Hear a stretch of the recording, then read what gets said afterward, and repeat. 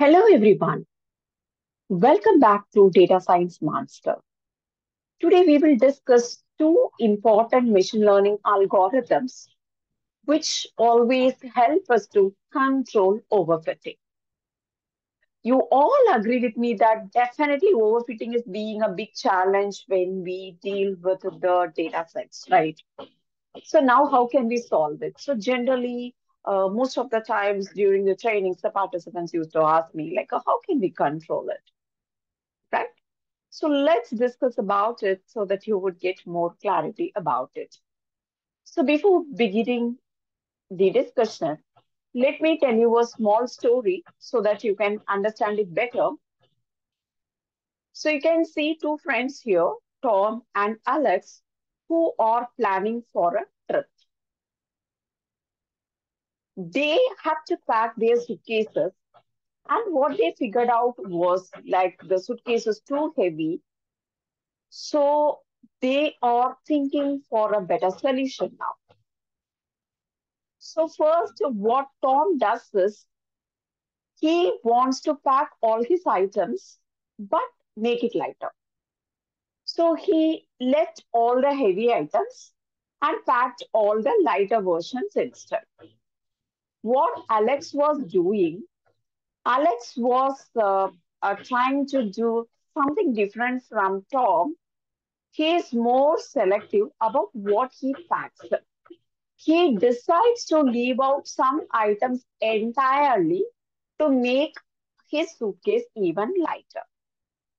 So he has carried the unwanted items also but instead of heavy items, he is trying to carry lightweight items. But what Alex's plan is, he has decided to drop all those heavy items because he knows very well that it is really insignificant, which is unwanted for the trip. So he is completely avoiding it. So now we can connect Tom with ridge regression and Alex with lasso regression. So let us continue with the algorithm to understand it better. Why ridge and lasso when we have lot of machine learning models like linear, logistic, and SVM, ensemble models, everything? Sometimes we end up with overfitting models. How to control overfitting? That is where we have jumped into ridge and lasso regression. So for this, I have taken a data set, MPG data set. So first, I have imported NumPy, Pandas, Matplotlib, and Seaborn packages. I assume that you are well versed with the machine learning libraries and packages. If not, please look into those videos and come back. I have posted already some videos related to Pandas as well as Matplotlib and Seaborn. So I'm just trying with a linear regression, ridge and lasso. This is just to calculate the performance of the model. So let me load my data set. The problem statement is to find out the relationship between MPG and the other attributes. So this is MPG cylinder, number of cylinders, displacement, horsepower, weight, acceleration, year, origin, car type, and car name. So if you look into this, origin cannot be numeric. So it is really important that what does this origin indicate? So let me proceed with this. Let me see the data types. So I could see a challenge here. The horsepower column, which is looking like a numerical, here if you see, it is showing like an object. So there is some challenge with this horsepower column. And here car name is not really required. So I'm trying to drop that car name column. And I could figure out from the data team that in the origin column, one stands for America, two stands for Europe, and three stands for Asia. So I have replaced it accordingly. And just because it is categorical, I'm trying to encode the data set. Mm, here I have gone with one hot encoding. So I was further exploring the horsepower column because I faced a challenge that where it should be integer or float, but it is displayed like object. So when I explored it, I could see that there are few question marks in the data set. So I'm trying to replace those question marks with the median values. So let us now go ahead with building the model. In the x-axis, other than dependent variable, I have taken all the attributes. In the y-axis, I have taken the dependent variable. I'm also going ahead with the scaling technique. Why the scaling technique is really important? Because whenever we deal with the distance-based algorithms, it is mandatory to do scaling. So once I have done that, I'm splitting my data into train as well as test. The test size I have given 30 percentage and also I have passed a random state here which acts like a seed. So let me try to fit the linear regression model. So I could get the coefficients and the intercepts. And let me see the score of this regression model.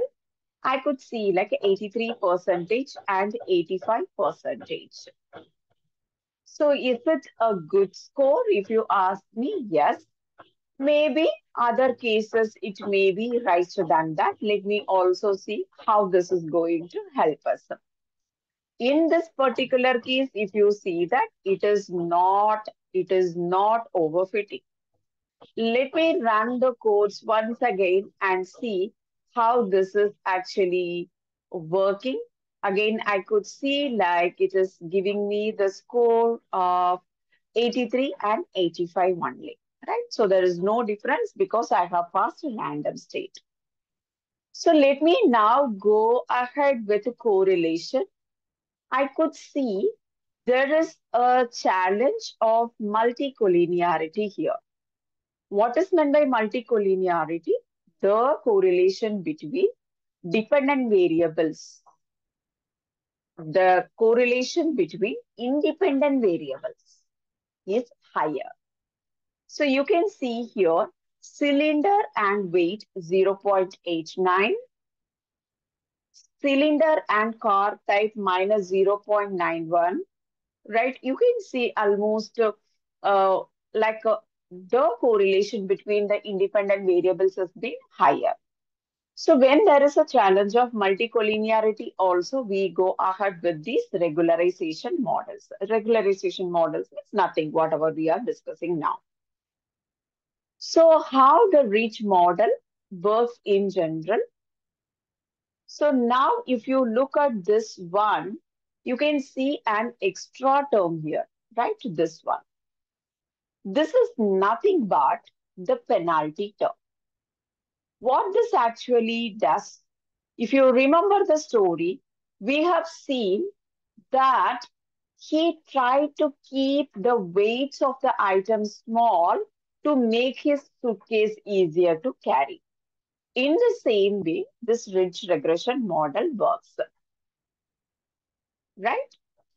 So now let me run with the ridge model here you can see a hyperparameter alpha, which I have passed like 0.3. If you want, you can change it.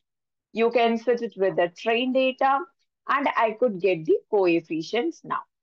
If you check with the coefficients, there you could see some variation, cylinder 0.32, displacement 0.32, but you can see some changes here, right? So let us also build the model with the ridge. Before that, let me also show you how lasso works. If you remember the story again, uh, Tom, what he tries to do, he completely ignored all those uh, unwanted heavy items. So if you see here, this is the penalty term here. When I go ahead with alpha, again, you can change this also. You can see some coefficients has turned into zero.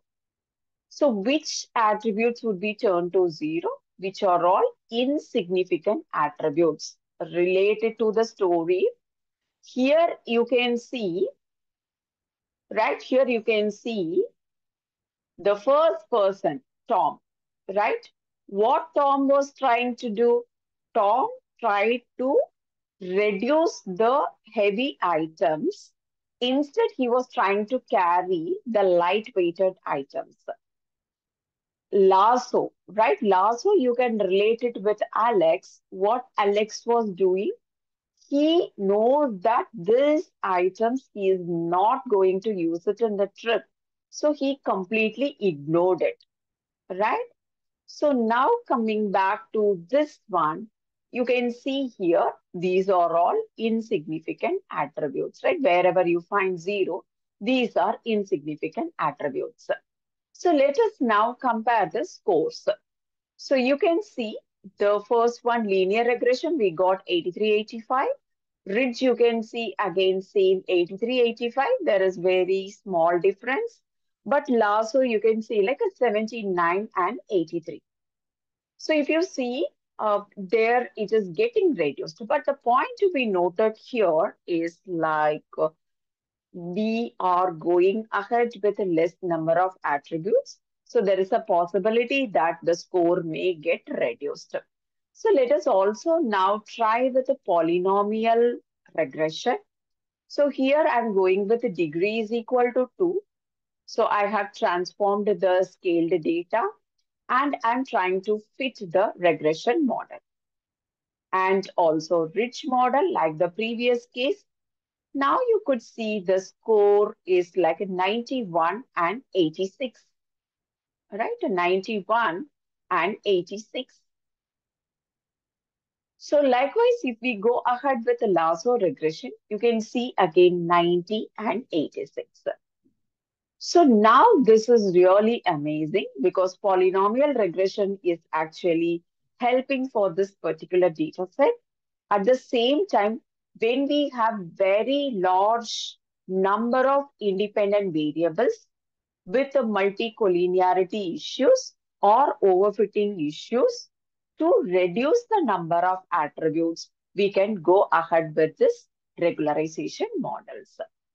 When there is multicollinearity or overfitting issues or feature selection methods, we can go ahead with ridge and lasso. Hope it is clear.